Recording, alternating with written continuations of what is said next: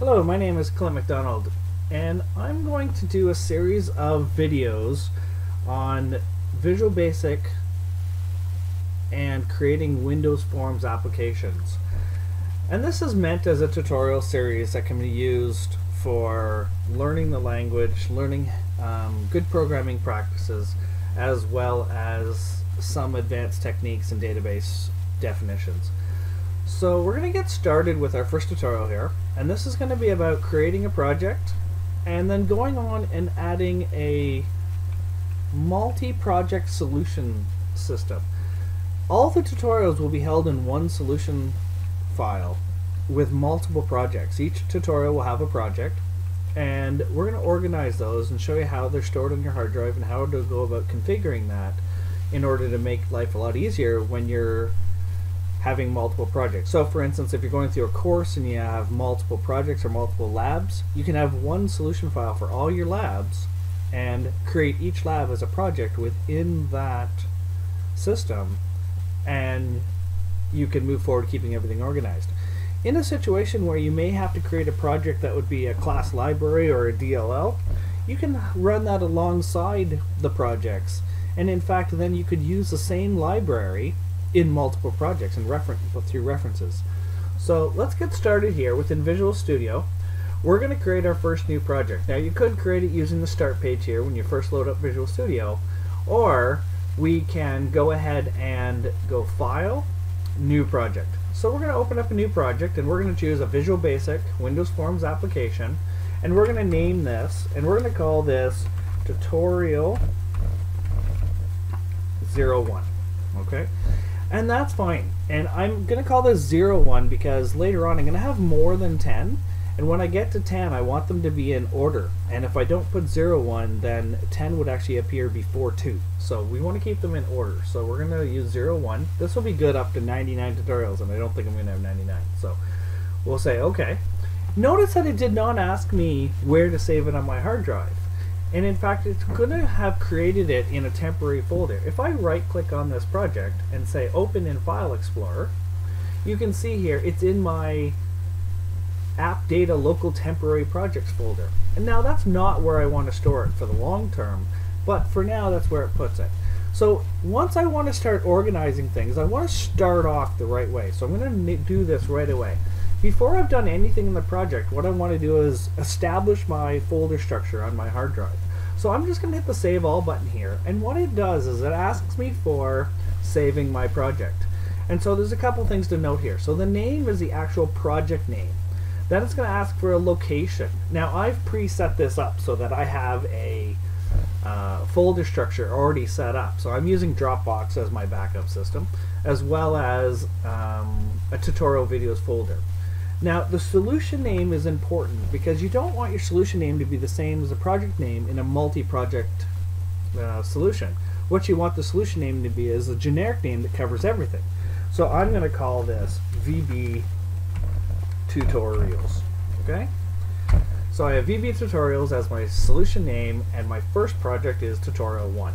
I want to create a directory for my solution. So what it's going to do is inside my tutorial videos folder, it's going to create a VB tutorials folder. Within that folder, it's going to create a folder for each project. So there'll be a tutorial 1 project created as well. I'm not going to use source control for the purposes of these videos, although it is recommended to have some kind of source control system for um, development processes where you can change your mind, test things, go back to the main thing, as well as it's a really good backup system as well. So we'll go ahead and hit the save button here, and we'll watch to see what happens. And it doesn't appear as much happened. You can see here that our Solution Explorer still shows only the project. It doesn't show the solution here. Um, however, if I right click on this and say Open in File Explorer now, you can see that in my tutorials folder that I specified when I saved it, there's my solution folder. Then within the solution folder is my solution file and a project folder. Okay. There's a hidden folder here for Visual Studio, which is used for configuration and preferences information. Uh, for the most part, we don't need to worry about that, and none of these tutorials will actually address that. So what we're going to do is we're going to close this and we're going to go ahead and add our second project. Not that we're going to do any work in projects in this first tutorial, but we're going to go ahead and add it now so that we can see how the folder structure and how a multiple, multiple project solution works. So what we're going to do is instead of going file new project, we're not going to do that anymore. For every project within the solution, we cannot do that anymore. Because if we were to do that, what it would actually do would be to close our existing project and create a new one which would actually be in a new solution. And we want to add this project to the same solution. So we're going to, rather than say new project, we're going to go say add new project. And what that does is adds a new project to the existing solution. So again, Visual Basic Windows, Windows Forms application, and note that the location is my solution folder. So we'll just leave that alone. And in fact, if we do this from within the solution, we should never have to change the location again. So I'm going to go ahead and call this tutorial 2, okay, and go from there. And if I move this over, you can see I'm keeping my naming scheme, but tutorial 1, tutorial 2, etc. Later on, I can give it some more information about what's actually in the tutorial and what topics are being covered, but for now, we'll just keep it as tutorial 1 and tutorial 2. So I'll say OK on this Add New Project window.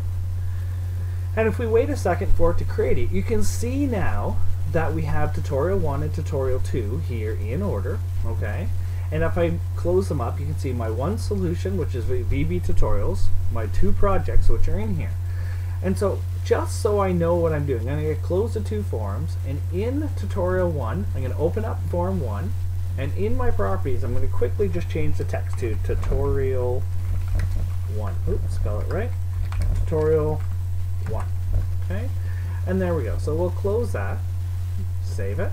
And then in my tutorial 2, I'll open up form 1, and you see it's still form 1 there, and I'll change this to tutorial 2. Okay? And, and we'll close that. So what I want to show you is in a multi-project solution, when I'm running or testing or debugging or compiling or doing anything with my projects, it's really important that I know which project is my current one and which one's actually going to happen. If I just was to hit the start button, and it was going to compile, it's building here, starting, succeeding, and now running. And there you go. You can see that it ran tutorial 1, which is okay. But what if I want to work on tutorial 2? So we'll close this, and we'll stop the debugging, which is there. And note that in the project folders here, that tutorial 1 is actually bold. Okay, so if I click on the solution, you can see one's bold and one's not. So if I right click on tutorial 2 and say set as startup project, all right, you can see now that tutorial 2 is bold. Now when I actually run the debugger, you can see here now tutorial 2 actually ran.